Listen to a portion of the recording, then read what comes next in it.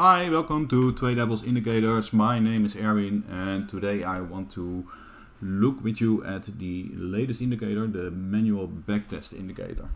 Um, but before we dive into it, let me just uh, quickly remind you, uh, you can find us at tradedevilsindicators.com. Uh, on there, if you go to products, indicators, you can find um, everything we have to offer. And like I said, today we're going to look at the manual backtester. Uh, which you can find over here. Um, if you are interested in, uh, in it, um, note we do have a 5-day free trial of all our indicators. It's completely free, we, we don't need any credit card or payment details. Um, we only ask for email address. Uh, be sure to read the uh, instructions or watch the video on how to download and install it. Um, uh, but that way you can uh, test everything out and try it out uh, before you uh, decide to invest in one of our indicators. So um, let's go back uh, to the chart and look at the manual backtest uh, indicator. Now the manual backtest indicator allows you to uh, backtest trading strategies without any coding knowledge. Um, as you know, there, there are two ways to, to uh, backtest strategies. Uh, you could make a, uh, an, a, trading bot or, or an automated strategy. And if you have one, then it's very easy to uh, to backtest it with using NinjaTrader. Um, but the clue is, of course, to build one, and that's very hard. You need you need a lot of knowledge about coding, uh, and most people just don't don't have that. And although there are tools out there which makes it easier, like the uh, Bloodhound and Blackbird, um, it's still not that uh, easy for most people. Now the other option uh, which most people use is, well, just open the chart and um, look at all the entries and exits your trading strategy would have given, uh, write them down and use an Excel sheet uh, to uh, to keep track of uh, the losers and the winners and then after some while you know um, how the strategy would have performed. And this is where the uh, manual backtest indicator really helps a, uh, a lot. Uh, it really helps you quickly um, drawing up trades and getting all the statistics you would like to see. So, um, well, let's dive into it. I al already added the, uh, the backtest indicator to my chart. And when you do that, you can see there is a little note in the top that it's uh, not finding any trades. Um, uh, so you should draw some. Um, so we're going to do that in a second. Uh, the other thing I added was the simple uh, the opening range. As you can see, just two lines to highlight the uh, opening range and, and, give me a clue where the day starts. And we're using the 512 uh, Heikin Ashi uh, tick chart. Now, the, uh, the idea about the, behind the strategy I want to backtest is, is very simple. Um, if you have price moving up like this, uh, let's say that price is in a trend moving up and it makes uh, it breaks the previous uh, swing low. So it, in this case uh, we would have a higher low here and then we get a lower high here. Then we would simply uh, look for a retracement at the 50% and see if we can get a trade of at least 12 ticks uh, here. Um, in this case short we would use a 8 tick an 8 tick stop loss and a 12 tick target and we will use a runner to trail our uh, runners. So that, that would be the strategy. It's very simple just a break of the previous uh, swing low or swing high. Now to draw up a trade on your chart um, that's very simple. If you go to the drawing menu um, you can find the new TDU short trade and long trade right here. Note I did map those to my uh, uh keyboard shortcuts the hotkeys so I can easily access them without going to the menu all the time. Um, if you, for example, take it a long trade, and let's say you, you, I don't know, you wanted to open a trade right here. You simply click and drag it up to uh, where you want to uh, have your target. So let's say you exit here, and then you can see, okay, this would be the, the entry, this would be the exit, and the stop loss is already marked uh, down here.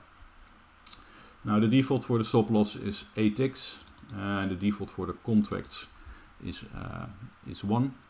Uh, but you can easily change those. So let's say if you want three contracts and maybe 12 ticks stop loss uh, you can change that and immediately all the numbers will change as well. And you can also save those as uh, defaults. So uh, next time they will use uh, be used automatically. So uh, yeah you can configure this to you to your liking. Um, I will keep it uh, at defaults right now um, when you have drawn the trade then of course you can modify it you can move the entry around your stop loss around the entry price um, and of course also the the exit so you're completely free to uh, to manipulate it and um, in case you have a loser then just drag it down for a long trade in this case until it hits the, uh, the stop loss. Uh, the same goes of course for a short trade. If you open a short trade, so let's say you want a short right here, uh, you can do the same uh, with the stop loss on top now and the, um, the target uh, below. Now you probably already saw that once you draw a trade, the, uh, the panel pops up with all the trading details. Uh, it shows the net profit, the win ratio, the profit factor, expected value, drawdown, well basically all the metrics you would uh, be interested in. And it also shows the, uh, the, of course the stop loss for every trade, the risk to reward ratio, the number of contracts and the profit and loss in both dollars and, and ticks. So um, quite some information there. And well, let's just start with, uh, with drawing up some trades according to the, uh, the strategy we are going to test. So here we clearly can see price moving up, making a uh, high low, high low, high low, high low, and then boom, we get a lower low. So that would be the first trade of the day. Um, higher low of a lower low, here is the 50% retracement. so that's where we would go short, one tick in front of the uh, 50. And we would be looking for a 12 tick target. Now in this case, we only get 10. So that means we hit our stop loss before we hitting our target. And let's say we trade with three contracts. So that would be a loser. First trade is a loser, minus $300. Uh, and then let's look at the next trade. I'm going to open up a little bit so we can see it more clearly. Um, same thing, here we can see higher high, lower high, lower high, and then again a higher high. So this lower high gets broken by this higher high. So we're going to look at the next retracement, which is right here. And we would go long here. So this would be a long trade. You can see that we never hit our stop loss. So the first target would be 12 ticks with uh, two contracts. And I'm going to draw up another one which we are going to trail and for trailing I'm just going to trail it under each of those red uh, smaller swings so I'm um, using the the swing lows as my trailing uh, as my trailing stop um, so the first one would be here, then it would be here, and finally I think it would be stopped out right there. So one winner, one loser. Uh, total net profit so far $200. Oh. And let's remove this uh, Fibonacci retracement. And a win ratio of 66%. Um, so we have two trades now. let's continue and look at the next one um, here we can see higher highs um, and if you, you just draw up the, the, the, the, trend channel you can already see that um, clearly this this lower low is breaking this uh, this small uptrend so we're going to look for the short. And sadly the the short is never offered. So um, no trade here. And we have to wait again. Um, well, this swing, this swing is not, not broken, this one is not broken, but here we can see it, it's breaking again. And just if you draw a simple trend line, you can see indeed that here we break the, uh, the trend. We get a uh, higher high again, so we will be looking for a next trade from this low to, in this case, this high, because it broke the uh, yeah, broke the price right here. And this is the first retracement. So here we would go long. Uh, again it never hit our, our stop loss but it did hit our target. So that would be 12 ticks with two contracts and another one for the runners. Um, that runner would be stopped out right here. So not much of a runner but okay. At least it's uh, it's a winner. So we already have five ticks now. Or five trades um, let's see what else we can get.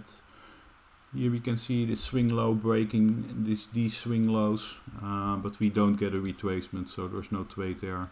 And the same goes for, for this one, there's no trade there. And from there on, price is just a little bit chopping around. I think this is the, the big swing low uh, and the big swing high, which has to be broken and it's just chopping around. And notice it's also at the end of the day, so no trades anymore, I think, for that day. So let's look at the next day. Um, this is uh, Friday. I remember this day because it was the last trading day. Um, and again, we can see price moving lower, lower, lower. Um, but it doesn't break these uh, these highs. This is the last high uh, until here.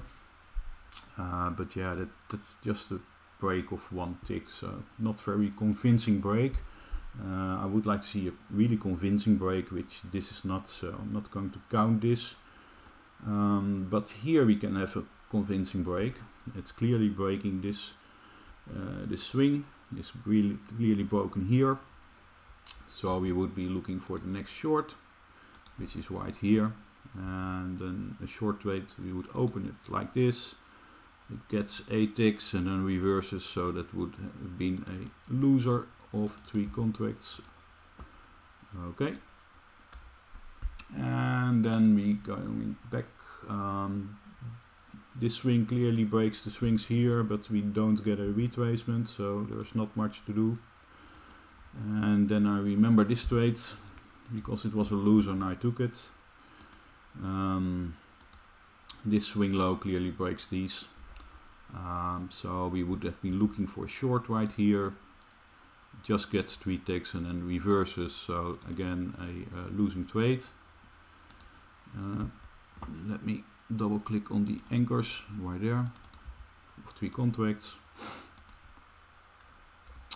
And then finally we can see prices moving a little bit lower.